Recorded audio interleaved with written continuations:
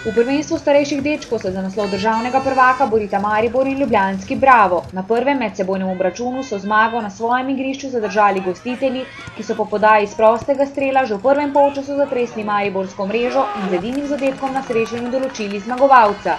Mariborčani, ki so v tej sezoni postali zmagovalci zimske lige Rad igram nogomet, selekcije U8 in U10, hkrati osvojili kadetsko in člansko prvenstvo, upajo, da bodo tudi potem, ko so si s prvim mestom na vzhodu prislužili nastop v velikem finalu, kjer je Bravo v prvi sezoni prve lige suvereno osvojil vrh na zahodu, osvojili tudi to lovoriko.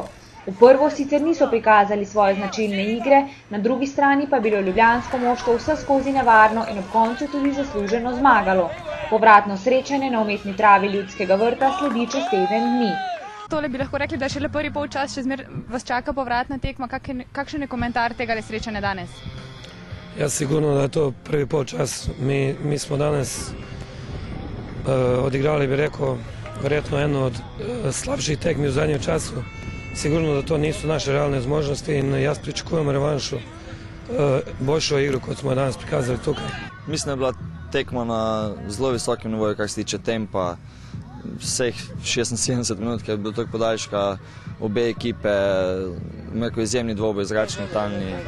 Uh, tako, ko si pač tudi za finale spodobno. Dobra tekma. In zelo izenačena, zelo izenačena.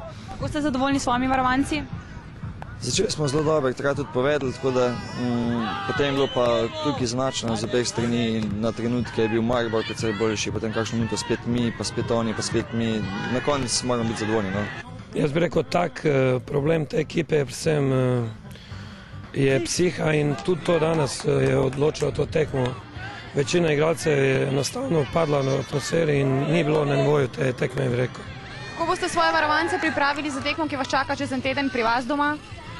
Jaz upam po vseh teh tekmah, ki smo odigrali zdaj spomladi, pa tudi jeseni, da mm, ne bi trebalo biti problemov. Druga stvar je, igramo v Mariboru, E, mislim da bo ena prava atmosfera tam i da bomo sigurno pri, prikazali jednu boljšu igru kot smo je prikazali danes.